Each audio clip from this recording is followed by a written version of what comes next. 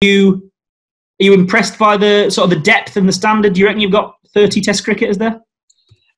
We've got a very, very strong group here, definitely. Uh, the standard of training's been excellent. Uh, obviously, it's taken a bit of working out with such a large group of how we've had to do things, so we've, we've split the day in two. Uh, and then sort of mix the group up as we've gone along as well. So bowlers, the younger bowlers get to train with different senior bowlers, and younger batsmen get to, you know, I mean, train alongside the, the older senior batters. And it's worked really well. And hopefully that experience and the youth has been crossed over and it's sort of enhanced the environment really. But what I will say is the lads have worked very hard.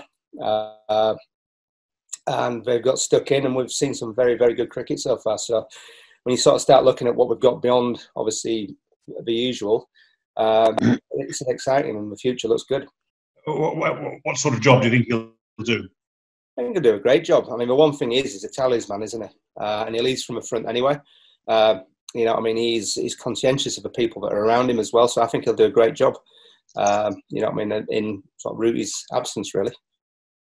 Do you, I mean, he, he was telling us yesterday that he, he's keen to have a say in selection. You know, the the the, the final eleven. Um, uh, that, that's fair enough. But but I mean, do you think he'll be an attacking captain or a conservative captain, or, or what do you think? We'll find out, won't we? it's uh, no, it's it'd be interesting to see where he goes because obviously it's his first time his first time captain in England. Uh, you know, I mean, we know he has got an aggressive nature, uh, but equally, you know, I mean, there's a good cricket brain in there as well. So I think he'll be quite thoughtful about uh, what moves he's making while he's out there as well. So I'm looking forward to working with him from a coaching point of view. I'm looking forward to working with him. Um, I'll extend him the same courtesies as I do Rooty, so he will have a lot of say in what's going on as well. Um, and he'll play a big part in sort of giving his opinions across the selection as well, obviously. Will uh, Will Joe play any part over the next three days? Uh, no, he won't. Not in this three-day game. No, uh, he will train tomorrow and then probably head up home.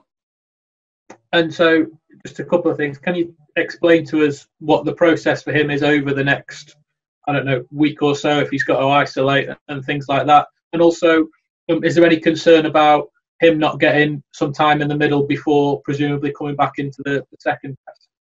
Uh, Joe's worked really hard with If. So, from a cricket point of view, he's hit a lot of cricket balls. Uh, he's trained very hard again this morning. So, he's doing everything he physically can to make sure he's in the best position. Uh, from obviously going out of the bubble to coming back in, I'm very much being led by the medical side on that. So, it's probably wrong of me to to get too involved in that conversation without having the medical side of people here with me. Uh, they seem to be very much on top of it. Um, so, all being well, Joe will be joining us up at Manchester. Uh, Chris, I mean, it's some time ago now, but you, you have won your last three Test matches. Uh, how concerned were you that the momentum built up from South Africa would be lost with the Sri Lanka tour being called off and potentially no cricket this summer? Obviously, we've got some cricket now, which is great, but even so, it's still behind closed doors. Are you concerned that momentum was gained in South Africa is going to be diluted? You obviously always think about that. And yes, I mean, there's a, like I said, the enforced break between South Africa and where we are now. Uh, it'd have been nice to play that series in Sri Lanka and come out with that with more experience and, I mean, with a bit of luck, a bit more confidence in there and another win under the belt. But actually seeing how they've turned up here, actually, I'm not overly concerned, to be honest. Uh, we certainly, it's not something we're going to sit back on as, as laurels and say, well, actually, that's where we finished off. We'll just pick up from there again because it doesn't work like that.